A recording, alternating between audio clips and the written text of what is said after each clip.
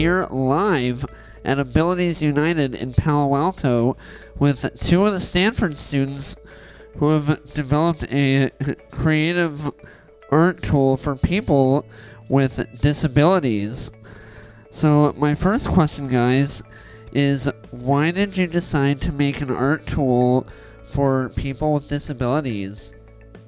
Uh, we decided to make a art tool for people with disabilities so they can um, increase their sort of creative independence so they can have more independence when they're creating art so they can uh, uh, see an, uh, a painting or a, a, drawing and they can start coloring it the way they want to in any form or fashion. And we wanted to facilitate that process for them. My next question is what materials did you use for creating this tool so the materials that we used, um, we we wanted to use materials that were easy to acquire. So something that you could go into your local hard, hardware store and purchase. Um, so currently, our prototype consists of pieces of Duron, which is just um, medium density fiber or, or wood, uh, as well as your general run-of-the-mill nuts and bolts um, with a, a, small lazy Susan bearing, which which also could be bought at a uh, hardware store.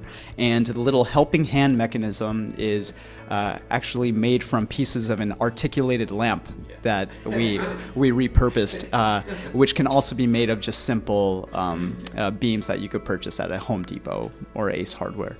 Um, and yeah, that's actually it. That's all it's composed of. Our device has two subcomponents. Uh, the first is an adjustable easel. So that's uh, mainly meant to hold up the, uh, I guess, your, the paper that you're coloring on or painting on uh, in an orientation that's accessible for that individual.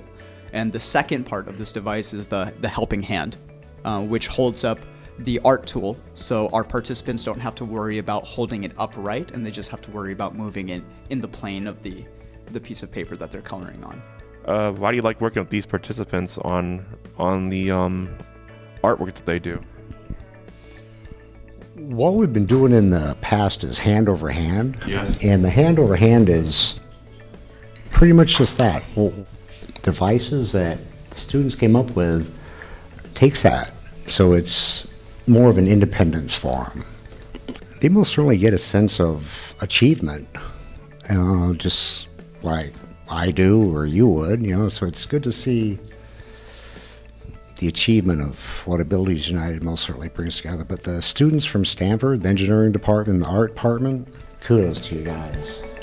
Um, yeah, I mean, how, how, how could somebody not be taken by that?